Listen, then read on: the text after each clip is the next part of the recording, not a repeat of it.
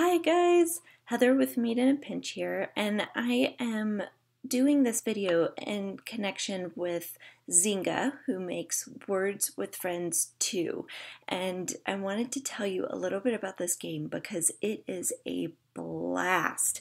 So it's a game where you make words with letter tiles and it challenges your brain to come up with these words, to work with letters that are already there um, as well as the letters that you receive, and to come up with words. It's a great way to keep your brain active, to keep it thinking, to challenge it, to come up with new ideas.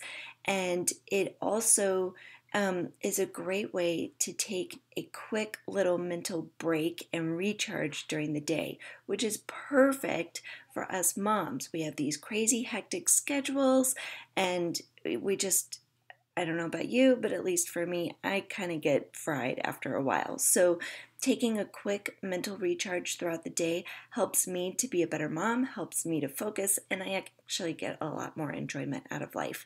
And the great thing about the way that this game and this app is set up is that you can play with many people at the same time. You have multiple games going on at the same time, but you can also do it on your own time, meaning you don't have to stay there and play an entire game all at once. You can take your turn and get back to your day and then come back later and take another turn once your opponents have had their turn.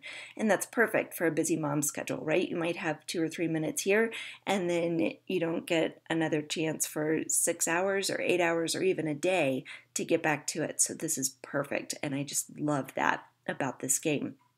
So, I would love for you to come try the game. Come challenge me to a game.